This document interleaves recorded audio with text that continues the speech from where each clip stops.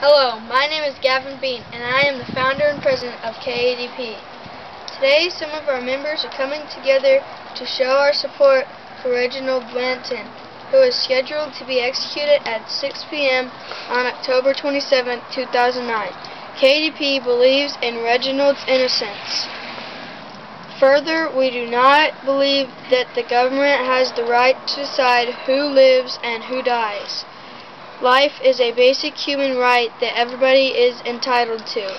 Therefore, KDP will officially protest the execution of Reginald Blanton. Hi, my name is Tanner Tucker and I'm a board member of KDP. I just wanted to go on record as saying that I am opposed to the execution of Reginald Blanton. Besides the fact that I am opposed to the death penalty as a whole, Reggie has an innocence claim, and I would hate for Texas to execute another innocent man. Hi, my name is Nick Bean. I'm the first vice president of KADP. I would also like to go on record in support of clemency for Reginald Blanton. I believe that Reggie's case is an excellent reason why we should push for countrywide abolition because as long as there are executions, we run the risk of murdering innocent men and women. Hi, my name is Corey Bywater, and I'm also a board, KADP board member. I would like to extend my best wishes to Reginald Lynn and his family and to let them know that there are people opposed to a scheduled execution. You and your family will be in our thoughts and prayers. My name is Nathan Bean. I'm the second vice president of KADP. In addition to the fact that we are publicly protesting the execution of Reginald Blanton, we would like the family to know that we are making efforts to gain support for Reggie.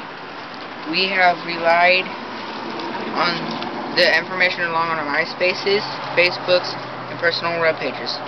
We have spoken about it to friends and family.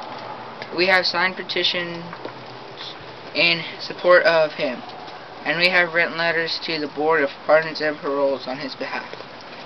Hello, my name is Krista Bowder, and I'm the Secretary and Committee Chair for Kids Against the Death Penalty. In addition to the fact that we are all here to show support for Reginald Blanton and his family, we are here to let the world know that a major injustice is about to take place, and we need your help to stop it. Imagine that it was your loved one who was facing execution. What would you do to help?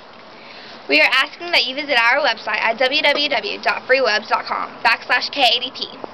There you'll find links to Reggie's homepage that provide more information on his case. On the site, you will fi also find links to petitions and phone numbers to contact Board of Pardons and Parole and or the Governor's Office. We cannot allow this travesty of justice to take place, and we are asking for your help to this family. Thank you for listening. Now it is time for you to take action.